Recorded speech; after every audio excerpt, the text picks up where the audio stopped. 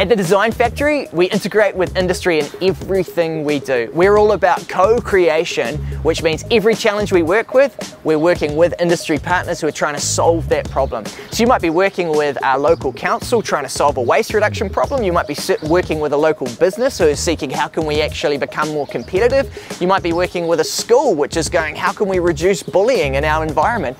So you're working along the whole way, bringing along the, the, the partner for the journey and really seeking to deliver a solution, not just for them, but with them.